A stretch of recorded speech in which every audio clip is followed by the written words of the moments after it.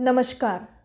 बहुत से बार एबॉर्शन के बाद कुछ महिलाएँ क्लिनिक में आती है और मुझे सवाल पूछती है कि मैम जो एबॉर्शन कुछ दिन पहले मेरा हुआ था मुझे लगता है कि वो एबॉर्शन सही तरीके से नहीं हुआ यानी कि कंप्लीट एबॉर्शन नहीं है कंप्लीट गर्भपात नहीं हो पाया है क्योंकि आज सुबह ही मैंने प्रेगनेंसी टेस्ट की है और वो प्रेगनेंसी टेस्ट स्ट्रांगली पॉजिटिव दिखा रही है।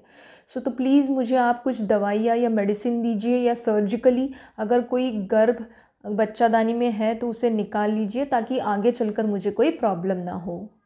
सो so, आज के वीडियो में हम बात करने वाले हैं कि क्या गर्भपात के बाद आपको प्रेगनेंसी टेस्ट करवानी चाहिए?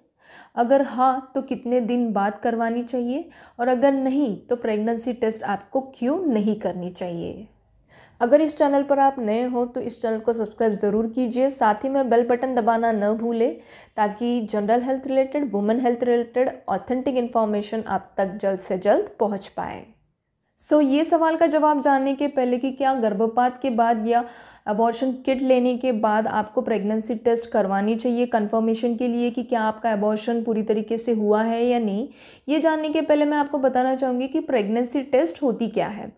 जब भी आप बाज़ार से प्रेगनेंसी किट मंगवा के प्रेगनेंसी टेस्ट करते हो तो आपके जो यूरिन के ड्रॉप्स आप वो किट में ऐड करते हो तो यूरिन में अगर आप प्रेग्नेंट हो तो वो आपकी यूरिन में बीटा एस नाम का प्रेगनेंसी का हार्मोन आपके यूरिन में प्रेजेंट रहेगा। अब ये बीटा एस हार्मोन क्या होता है? बीटा एस यानी कि ह्यूमन कोरियोनिक गोनाड्रोपिन हार्मोन ये जो हार्मोन होता है जब भी आपको प्रेगनेंसी ठहरती है यानी कि भ्रूण या गर्भ आपको ठहरता है तो ये गर्भ जब भी बच्चादानी को चिपकता है वो कुछ सेल्स से चिपकता है जिसे हम ट्रोफोब्लास्टिक सेल्स कहते हैं और ये बीटा एस हार्मोन ये ट्रोफोब्लास्टिक सेल्स बनाते हैं।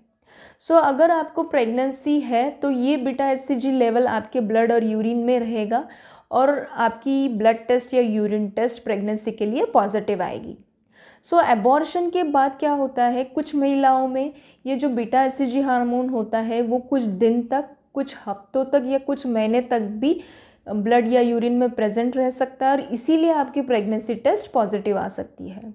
सो so, अगर आपकी प्रेगनेंसी टेस्ट पॉजिटिव है अबॉर्शन के बाद ये आ, इसका मतलब आप ये नहीं कह सकते हो कि आपका अबॉर्शन पूरी तरीके से कंप्लीट नहीं हुआ है और इसीलिए आप टेंशन में आ जाओगे। आपको टेंशन लेने की ज़रूरत नहीं है। अगर आपको लगता है कि आपका प्रेगनेंसी टेस्ट पॉजिटिव आया है तो जल्द से जल्द आपको आपके गायनेकोलॉजिस्ट या फैमिली डॉक्टर को कंसल्ट करना चाहिए और ये क्लियर कर लेना चाहिए with the help of ultrasound या सोनोग्राफी कि आपका एबॉर्शन पूरी तरीके से कंप्लीट हुआ है या नहीं? यानी कि प्रेगनेंसी टेस्ट ये पॉजिटिव साइन ऑफ़ प्रेगनेंसी है बट बीटा एस लेवल पूरी तरीके से हर महिला में तुरंत दूसरे दिन ही क्लियर नहीं होता है। वो कुछ दिन तक आपके ब्लड में रह सकता है और इसीलिए टेस्ट पॉजिटिव हो सकता है इवन आपका एबॉर्शन कंप्लीट होने के बाद भी। सो प्रेगनेंसी टेस्ट जो होती है यूरिन प्रेगनेंसी टेस्ट ये कन्फर्मेटरी टेस्ट नहीं है कि आपका एबॉर्शन हुआ है या नहीं। जो कन्फर्मेटरी टेस्ट है वो है अल्ट्रासाउंड या सोनोग्राफी सोनोग्राफी को आप में आपको डायरेक्टली दिख जाएगा कि क्या बच्चादानी में आ, कोई गर्भ का टुकड़ा या गर्भ बचा तो नहीं है जिसके लिए आपको कुछ फर्दर मैनेजमेंट करनी चाहिए। सो आई होप ये इन्फॉर्मेशन आपको अच्छी लगी है और ये इन्फॉर्मेशन अगर आपको अच्छी लगी है तो प्लीज़ आपके फ्रेंड्स और रिलेटिव्स में इसे ज़रूर शेयर कीजिए और ऐसे ही हेल्थ रिलेटेड इन्फॉर्मेशन के लिए इस चैनल को सब्सक्राइब ज़रूर कीजिए।